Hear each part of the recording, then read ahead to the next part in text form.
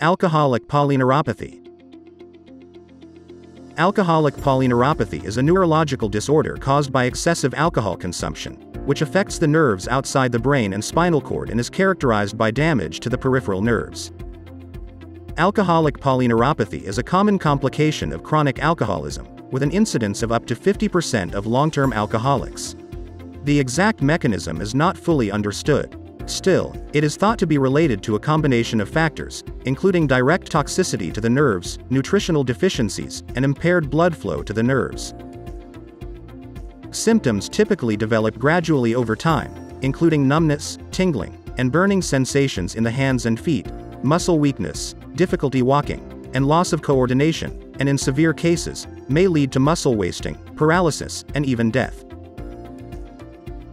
Diagnosis is typically based on clinical symptoms, medical history, and nerve function tests.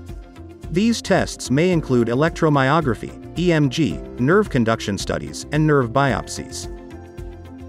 Treatment of alcoholic polyneuropathy typically involves addressing excessive alcohol consumption and includes medical and psychological interventions, including detoxification, rehabilitation, and counseling. In addition, it may include the use of medications to manage symptoms, such as pain relievers, antidepressants, and anticonvulsants.